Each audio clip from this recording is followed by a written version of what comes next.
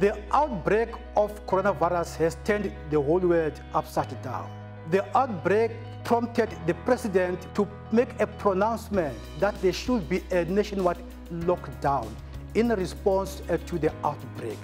The lockdown did not leave out the colleges. It disrupted the programs in terms of teaching and learning. As a result, the principals of TVET colleges decided to come up with ways and means of supporting the students who are at home.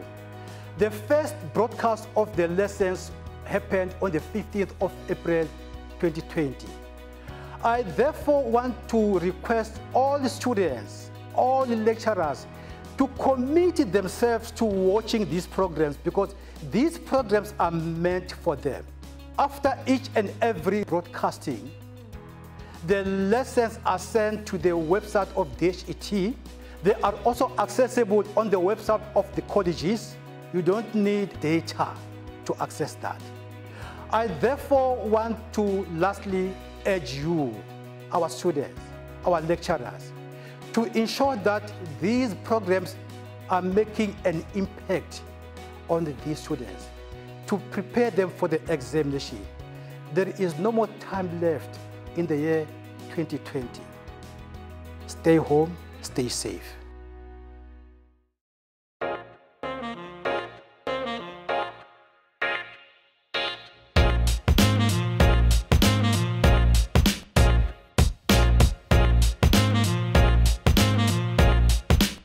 Greetings, South Africans. My name is Ms. Matwa from Orbit College in Brits campus. I'm a facilitator for Center of Specialization in Electrical Field. Today, I'm going to present a topic that will cover for Phase 1 COS Learning Area 1 to Learning Area 5. It will also cover for electrical systems and constructions, level 2 to level 4. So our topic today is house installation. As electricians, our main duty is to solve people's electrical problems. There is, a, there is three ways in which we can solve those problems is either we install or we maintain or we repair. So today we are going to do house installation. By doing this house installation, we are going to take the knowledge that we have learned how to draw the second different subcircuits, then we will take those subcircuits into reality. There is a scenario given to us which we will use those circuits. Let's go to that scenario. It reads thus, Mrs. Zulu is going on pension and has decided to move to her son Mandla's house in Brits. Mandla has outbuilding at the back which he uses to store his garden tools and various other stuff. Mandla has agreed to move his stored goods to a storage facility and convert the building into Granny's flat for his mother. Mrs. Zulu has requested that Mandla also installed a small kitchen with a plug for a stove, a plug in the bedroom for her to listen to the radio, and another one in the kitchen to boil kettle for tea. Additionally, Mrs. Zulu wants to be able to turn on the light in the kitchen from the main house and then be able to turn it off from the bedroom of the granny's flat. So this is what we know for now. So as electricians, where do we fit in in this scenario? If we go to the second paragraph, it says, Mandla must install a plug for a stove. That's where now we need to connect a stove sub-circuit. A plug in the bedroom for her to listen to the radio, and another one in the kitchen to boil kettle for tea. That's our second sub-circuit, which is the sub-circuit for the socket outlet. Additionally, Mrs. Zulu wants to be able to turn on the light in the kitchen from the main house and then be able to turn it off from the bedroom of the granny's flat. So that's our third circuit that we need to install. Let's see the existing infrastructure to that back room. The cable linking to the house and the outbuilding is an existing six millimeter square, three core steel wired armored cable buried in the ground. The length of the cable is approximately 30 meters. So that is the whole information from our scenario. As I said, there are circuit diagrams that we need to install to that scenario. The first circuit is the distribution board because it was not said that this, uh, the back room, it has the distribution board. So we need to install the distribution board in that small house because we all know the purpose of the distribution board. That's where our controlling and protecting device of the installation is being installed. Then the second, uh, uh, the, the second circuit is the stove sub-circuit followed by a two-way switch sub-circuit and the socket outlet sub-circuit.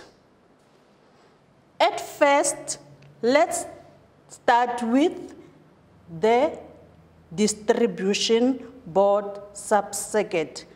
How to draw the components inside the DB and how to connect them. On your screen, is the, uh, the circuit for the distribution board. So this is the first component inside the distribution board, which is the main switch. The main switch is a double pole, iso uh, double pole component, which is 63 amperes, and its main function is to connect the installation from the supplier.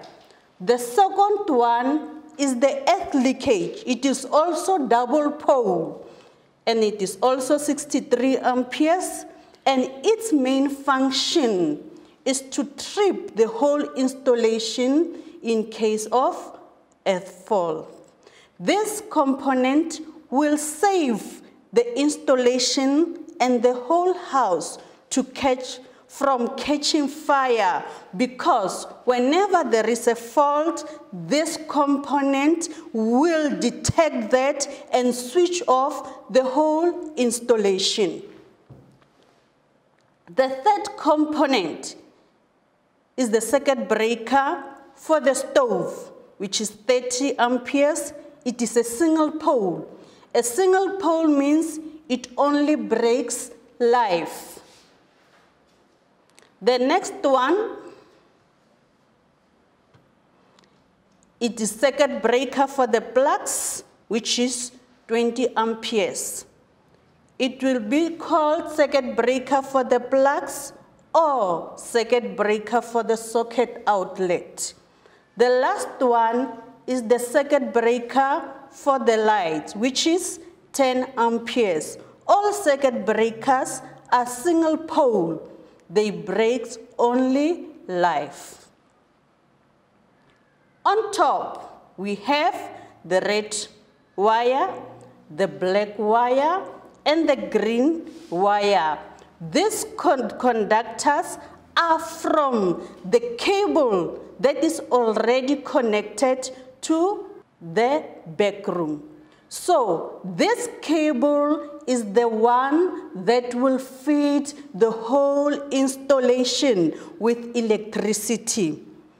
So on this, in this diagram, all red colors, they represent the live wire and it is 10 millimeter square in size because inside the DB we use 10 millimeter square conductor.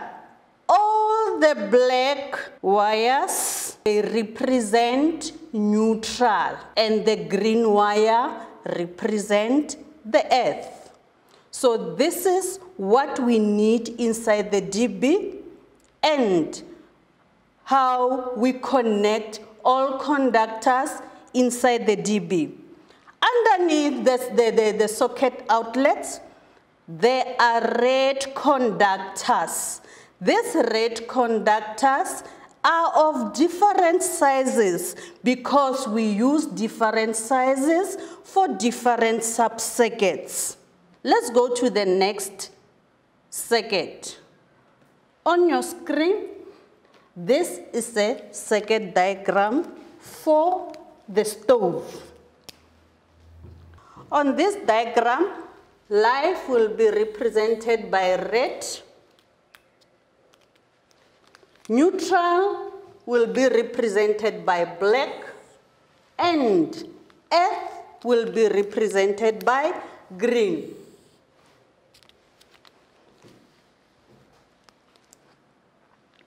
This component, we call it an isolator. An isolator is a plug that controls the stove that is on the wall. So that on that isolator, it will break live and neutral. Then it breaks both live and neutral simultaneously. Then they will connect to the stove. The, the earth wire connects to the stove. If this is your stove,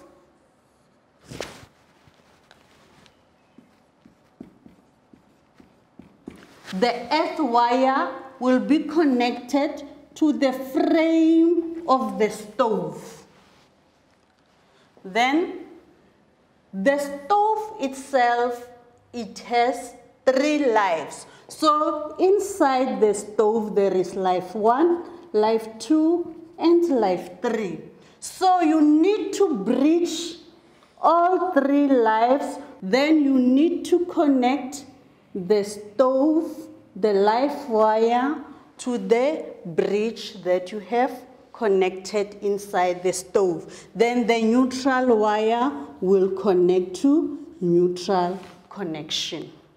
The next circuit, it is a two-way switch because it was said that Mizulu need to switch on the light from the kitchen of the main house and switch it off when she enters her bedroom. So we need to design a two-way switch circuit for that reason. According to our circuit, the stove sub-circuit, if we have already designed the circuit, it will be easy for us to draw the material list for each circuit. So for this stove circuit, what do we need? According to, because the circuit is the one that will direct us on what to buy for us to perform the job. The first one is a double pole isolator. The second one is the stove itself. And we need to buy conductors. The red conductor, the black conductor, and a copper wire. So we need to buy four millimeter square conductors for the stove. The second circuit is a two-way switch circuit. So the two-way switch circuit, for the lights we need a red wire and the black wire, which is live and neutral. So for two-way switch circuit, to perform its two-way switching, we need to have two-way switches times two. So the first two-way switch needs to be with the other one so that they can perform their two-way switching. So how do we connect them? From the circuit breaker, we connect the red wire to the common of the first two-way switch. Then we connect L1 of the first two-way switch to L1 of the second two-way switch, then L2 of the first two-way switch to L2 of the second two-way switch. And the common point of the second two-way switch, we connect it to the light. Then the light from the light, we connect the neutral wire to the neutral bar. So from this circuit, it will be easy for us to be able to draw the material that we need to connect this circuit. If we go to that material, you'll see that we need two times two-way switches. We need the bulb holder, we need the bulb, and we need the conductors, the red conductor, the black conductor of 1.5 millimeter square. Although we don't connect the green and yellow conductor, the earth wire, to the bulb if the bulb is of PVC, but we need to connect this, this earth wire to the bulb. Then we leave it next to the bulb. If our client needs to change the bulb holder to metal in future. The, the third circuit that is needed is the socket outlet circuit or the plug circuit. Mizulu needs two plugs, the first one in the bedroom, the second one in the kitchen. How do we connect those plugs? From the circuit breaker, we will connect to the live side of the first plug. Then from the first plug, we go to the live side of the second plug. Then we connect the neutral wire to the first plug and we'll take it to the second plug. The earth will also be connected from the earth bar inside the DB to the earth connection of the first plug, then to the earth connection of the second plug. The material that we need to buy for this circuit is the following. We need to buy two plugs. We need to buy 2.5 millimeter square conductors, the black conductor, the red conductor, and the earth conductor, which is green and yellow.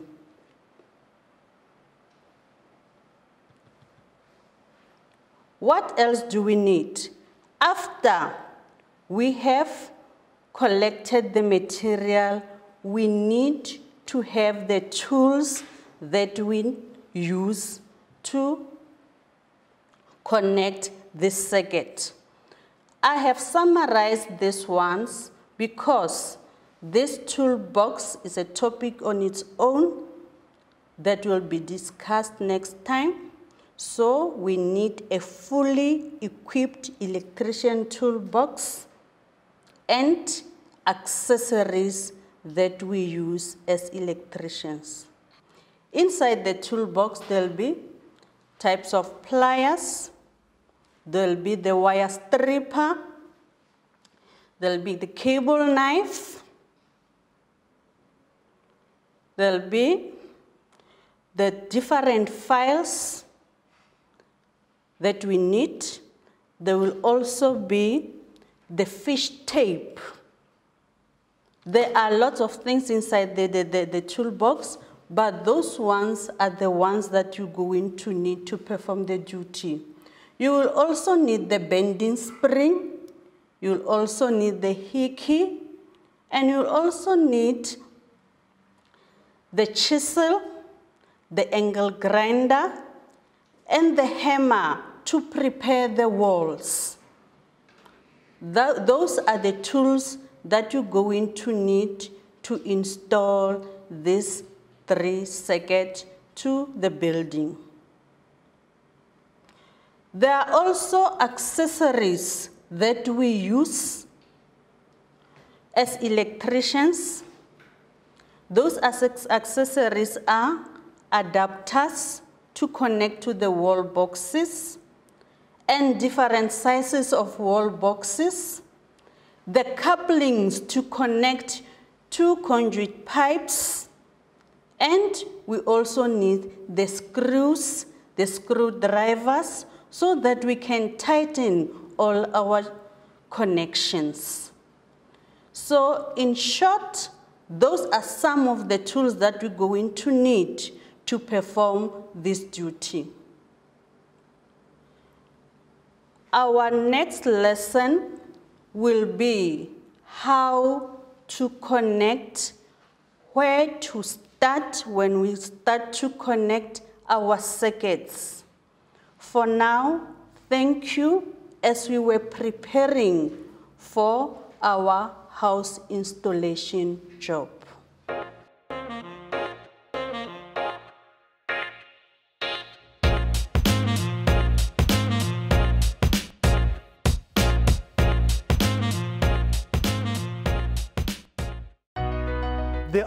Outbreak of coronavirus has turned the whole world upside down. The outbreak prompted the president to make a pronouncement that there should be a nationwide lockdown in response uh, to the outbreak. The lockdown did not leave out the colleges. It disrupted the programs in terms of teaching and learning. As a result, the principals of TVET colleges decided to come up with ways and means of supporting the students who are at home.